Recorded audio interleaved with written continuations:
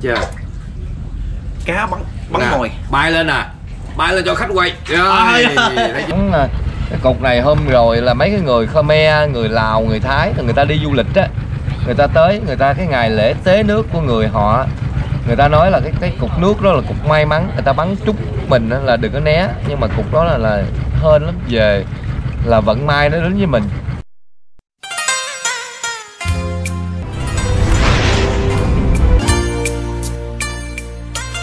À, trên cái à, đoạn đường đi ra à, kiếm cá màng gỗ thì à, có chú này.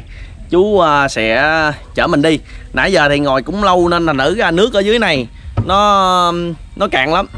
Nên phải đợi xả nước vô hả chú ha nước lớn. Đợi nước lớn lên. Từ đây đâu ra đi ra đến cá màng gỗ đó sao không chú? Khoảng ờ, gần 10 phút. Gần 10 phút mình chạy máy. À, thường thì mình đi ra bè đó là mình phải đi buổi chiều như vậy. Hay sao chú? Không đi lúc nào cũng được lúc nào cũng được dạ nhưng mà con nước thì chiều thì nó xây theo hàng ngày Dạ, có có thể là ngày mai ờ, sẽ ở đây là nó sẽ ờ, buổi gì vào giờ này nó sẽ lớn, nó sẽ xây hoài. nó trễ hơn khoảng 4 5 phút Dạ. Bây giờ thì chú sẽ chở mình đi. Ở trên cái con kinh này là kêu mình kêu kinh gì gì hả chú? kinh uh, dầm hồ Kinh dầm cồ. Dạ. Thì à, hồi nãy em chiến là có hướng dẫn à, có có anh Tâm anh nói là ở đây cá mè gỗ quán nước thì mình sẽ quay cho cả nhà xem cả nhà hay đợi nghe Đi ra ngoài à, kia là khoảng thời gian là khoảng 10 phút là mình sẽ đến cái nơi mà con cá bắn nước. Thì à, chú chia sẻ là để đi ra được cái ngoài đó đó thì phải có cô Bảy là chủ nhiệm của câu lạc bộ à, về du lịch Cồn Sơn ở đây.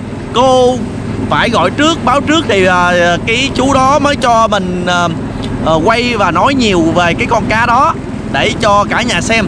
Hôm nay may mắn rất được may mắn gặp được chú để mà một gặp được một cái con cá con cá đặc biệt dùng nước để mà bắn con mồi đó. Hôm nay là vào buổi chiều nên cái phong cảnh ở đây cũng rất là đẹp.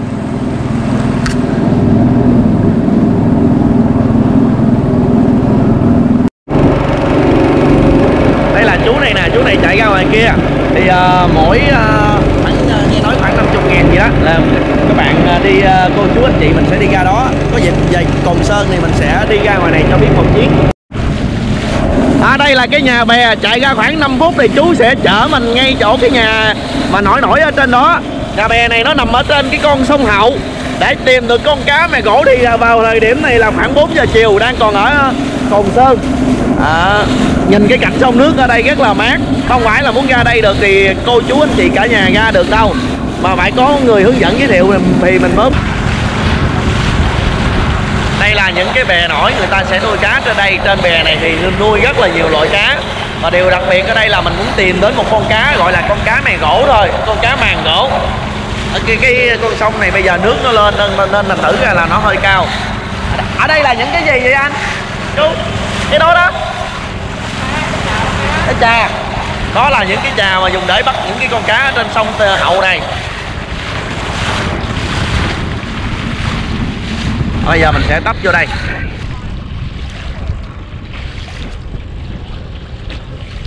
Ở đây là cái um, cái bè mà sau một thời gian chạy tìm đến có một số du khách đứng đằng kia để coi con cá màng cổ nó bắn nước. Và đó là cái anh hướng dẫn viên ở trên cái câu lạc bộ này. Và trên đây thì rất là nhiều bè đi thì phải cẩn thận. Đó. Bây giờ mình sẽ uh, lên bè này. Nhưng mà phải cẩn thận mới được. Đây là cái, mình sẽ đến cái cái cái bè của chú Tư On. Bảy bảy bon rồi bây giờ đi đây nãy à, cô Bảy có điện ra thì có em trai này sẽ đứng đón đợi đi. Khoảng hồi sớm giờ. Không phải là đi du lịch mà quay cái hoàn cảnh đặc ờ, quay cái à, đặc biệt về cá cho cô chú anh chị mình xem. Cái này mình di chuyển nhà chú đi. Vô nhà trước đợi hai em hả? Dạ ôi có những cái con cá rất là bự nằm ở dưới này. Cá trê này lớn không anh? Khoảng bao nhiêu ký? Bỏ nó ăn là dạ mình mình. Cá này cá chê hồng ạ. Cá trê hồng hả?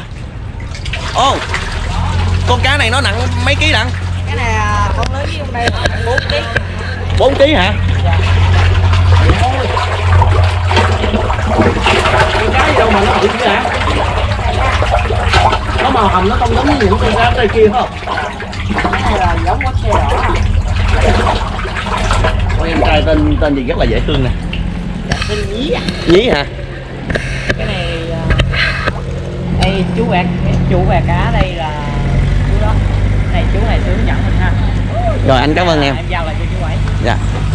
Con con cái này là khỏi quay cái này con dế thôi. Dạ con quay để cho- cái này là mồi của con cá màng gỗ đó. Đúng rồi cái này là chú quay của con cá mê rổ.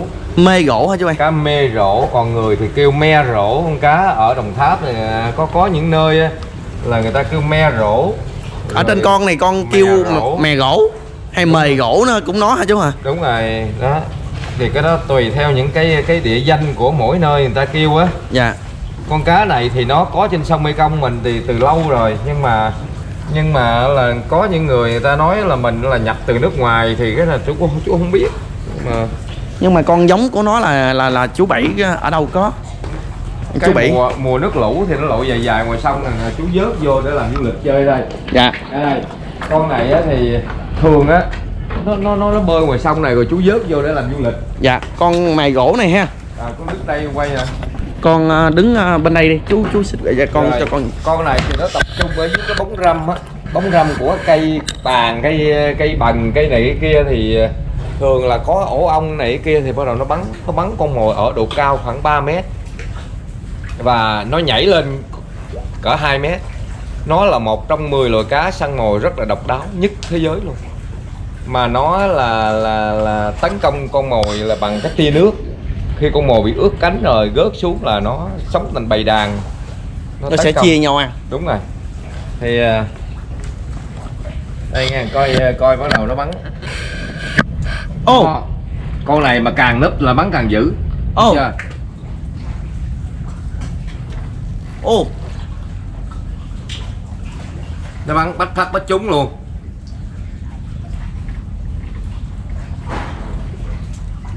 chưa? Cá bắn bắn Nè, mồi. bay lên nè bay lên cho khách quay. Rồi Ai thấy chưa? Nè ơi. bay lên cái nữa rồi con. Bay lên. Ừ. ơi ơi lần nè đầu tiên. bay lên cái này.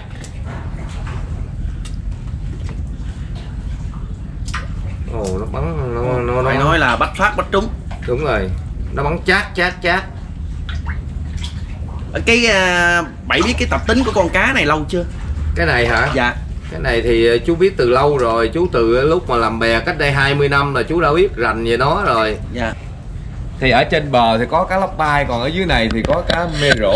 Giờ bây giờ ở đây con thấy ở Cồn Sơn mình là cá bắn nước nè cá mè gỗ bắn nước với lại cá lóc bay. Bây giờ có cá tai tượng ăn cơm. À, đúng Dạ, rồi dạ. cá mê ta tượng ăn cơm. Dạ. Đúng rồi hiện bây giờ là nó có ba sản phẩm đó. Dạ. Là à, cá lóc bay là có đầu tiên rồi tới cá cá bắn nước rồi tới cá tai tượng à, ăn cơm. À, cô chú anh chị sẽ có sẽ thấy con cá nó sẽ ngậm nước vô. Sau đó là giống như súng à, đẩy hơi ra. Ừ. cái cái cái bè cái cái bồn mình là bao nhiêu hả bảy cái này nè. Cái bồn này hả? Dạ. Nó chắc chừng mười mấy con cái vậy. Dạ. Hiện nay thì bảy khoảng bao nhiêu con cá mè gỗ này? Cái này là có cả cả cả cả trăm con à. Cả trăm con. Trăm con à Dạ. ở đây một cái bồn cái bồn đó thì nó ăn no khi nó không bắn bữa nó qua bên bồn bên đây hoặc là qua bồn bên kia. Dạ. Ở đây còn ngoài đó còn đó mình đang tập cho ở ngoài đó để cho có thể là cầm tay nó cũng bắn nữa. Ha bây giờ mình mình ờ, đi ra ngoài này. Dạ. để mình ờ, xem tiếp ở ngoài này đi. Dạ. Ồ, phải nói là được được ờ, cô bảy ở trong kia. Rồi giới thiệu rồi bảy quá nhiệt tình con có cái thước phim quý. Ừ. ở đây đây mình có một cái bầy đây cái bầy này là là mình vớt vô mình để mình tập cho đáng lẽ là mình ờ, mình ờ, cầm con dế là cho nó bắn luôn á. Chú làm chú lấy con dế chú, chú cầm trên tay thôi. Dạ. Cái ờ, đặc tính của con cá mè gỗ này là nó có lớn lớn nữa không bảy cô chú anh chị thấy con cá này nè là nó sẽ có một cái hai cái vằn sọc ở bên những cái vằn sọc nhìn rất là đẹp. Nói chung là ánh mắt thì của nó là màu vàng. Nó lội rất là nhanh. Nó là nhanh như chớp luôn á. Dạ. Nó đây, nó đây nha. Chú cầm nó nó cũng bắn nó cầm tay nó cũng bắn nữa nhưng mà thấy chưa? Đó. nhưng mà nó là càng vô trong kẹt trong hốc rồi nó càng nó sẽ ờ, chính xác hơn rồi bay ờ. Nó, nó, nó, nó, nó thấy cái máy rồi nó còn dở cái máy lên cái nó thấy chưa? cái trọng lượng của nó là nó lớn nhất là bao nhiêu hả bác? Đó. con này hả nó cỡ hai trăm cỡ trăm rưỡi ra mà dạ. Cái cái nhưng mà cá ở ngoài thiên nhiên thì khó có con bự tại nó cỡ này là ta bắt ăn hết rồi. Con cá này ăn ngon tuyệt vời luôn á. Cái dòng đời của nó nó sống lâu không bác? Con này thì sống lâu. Con này là chú thấy là nó sống lên tới cả trăm gram mà chú thấy nó không lớn nữa thôi chứ còn nó ở trong bè là chú thấy cả mấy đứa nó bắt rồi được con lớn lớn thì nó thả lại cũng hai ba năm ba bốn năm sau nó cũng vậy á. Dạ. Cho nên là còn lớn lâu nữa thôi chú không biết nhưng mà cỡ bốn năm năm là chuyện bình thường. À, nó bắn mỗi nó bắn bách phát bách trúng. Là tổng cộng là các các dèo với lại cái bồn đó là khoảng ba bảy hiện nay đang sử đang có khoảng bao nhiêu con cá mè gỗ này con cũng có cho cỡ ờ, có chắc cỡ chừng ờ, vài trăm con vậy đó. Dạ nó có nó có tự sinh sản không bác? Nó nó nó nó đẻ nhưng mà nó đẻ cái trứng nó nổi theo mặt nước nó sẽ trôi dần dài dài dài nó tới đâu thì nó nở tới đó vậy đó. Dạ. Ừ. đây cái này là nó bắn ờ, cái cục này hôm rồi là mấy cái người Khmer người Lào người Thái người ta đi du lịch á người ta tới người ta cái ngày lễ tế nước của người họ người ta nói là cái cái cục nước đó là cục may mắn người ta bắn trúng mình là đừng có né nhưng mà cục đó là là hên lắm. Về là vận may nó đến với mình. Nước của con cá bắn lên hả Đúng bác rồi. dạ. Ta nói là cục đó là hên lắm. Chút càng nhiều càng tốt. Đây nè.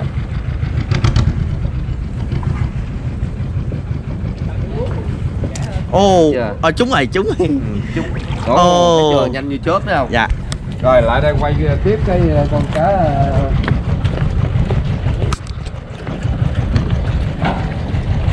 con cá mè gỗ hay còn gọi là con cá mề gỗ có nơi thì sẽ gọi là con cá màng gỗ. Con này còn đẹp nữa. Cái này nó là thiên đường cá cảnh.